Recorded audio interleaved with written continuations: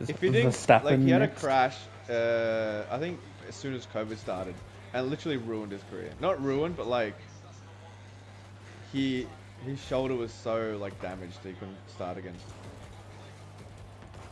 Oh my! god! Why, dude? I didn't even have ball. I just tried to save it. I just tried to hit the back. I did the sickest goal.